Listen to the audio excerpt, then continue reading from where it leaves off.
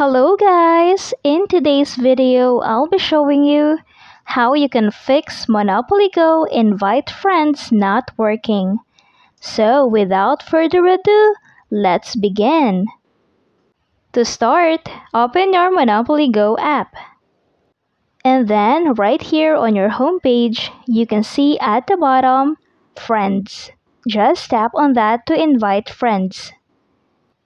But for example, your invite friends is not working, what you can do is to go to your phone settings.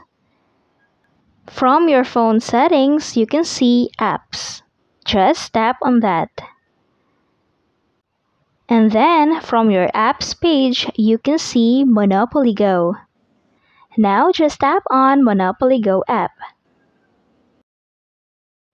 After that, on your Monopoly Go app settings, you can see storage and cache. Just tap on storage and cache. After that, just tap on clear cache. After clearing the cache, what you can do is to go to your Google Play Store to update your Monopoly Go app. After that, all you need to do is to open again your Monopoly Go app and then check if your Monopoly Go invite friends is working. And that's it.